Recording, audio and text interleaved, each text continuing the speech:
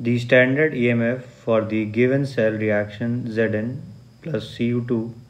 plus gives Cu plus Zn2 plus is 1.10 volt at 25 degree centigrade. The EMF for the cell reaction when 0.1 molar copper 2 plus and 0.1 molar zinc 2 plus solutions are used at 25 degree centigrade is. So we can calculate this value by Nernst equation so from Nernst equation we can say that E cell will be equal to E naught cell minus RT divided by NF log product upon reactant. And for this reaction this will be zinc 2 plus upon copper 2 plus. Now you can write any half cell to find the value of n. Now zinc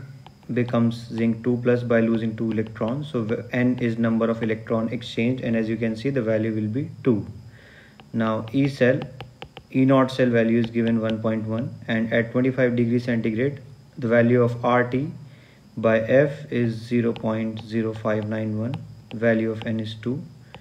and log zinc 2 plus is given in question that it is 0.1 molar and copper plus is also 1 molar so this turns out to be 1 and the value of log 1 is 0 so E cell will be 1.1 minus 0.059 by 2 into 0 so the value of E cell is 1.1 volt same as E naught cell and this is given in option 1 so option 1 is the correct answer